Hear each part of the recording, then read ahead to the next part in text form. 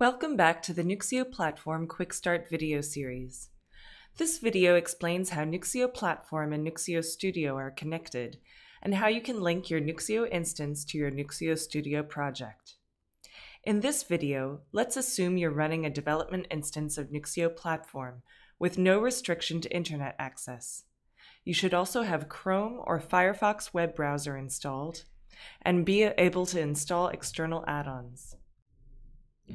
Nuxeo Studio lets you configure the Nuxeo platform easily.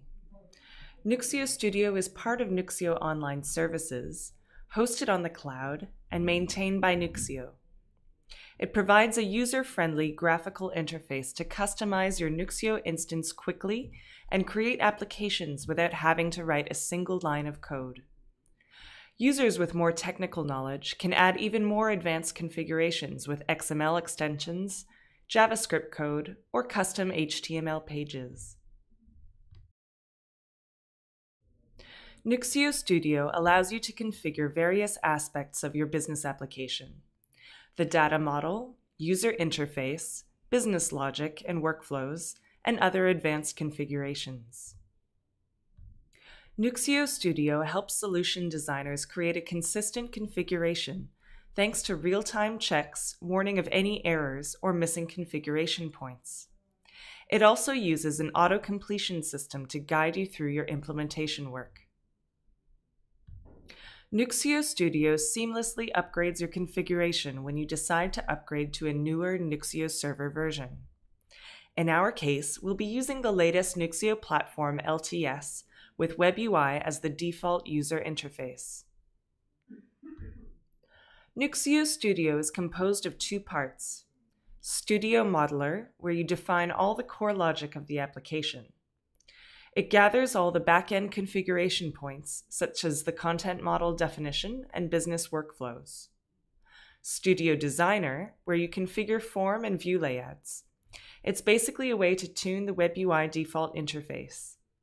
It includes document type and workflow task layouts, search forms, buttons, menu items, custom pages, and translations management.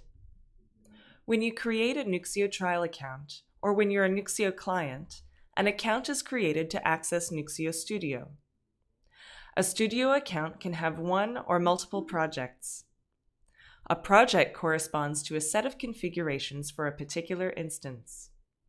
Consequently, a Nuxeo platform instance needs to know which Studio project is associated. You can link your Studio project to your instance from the installation wizard. You'll be prompted for your Nuxeo Studio credentials and your Nuxeo project. Other options exist and are detailed on our documentation site.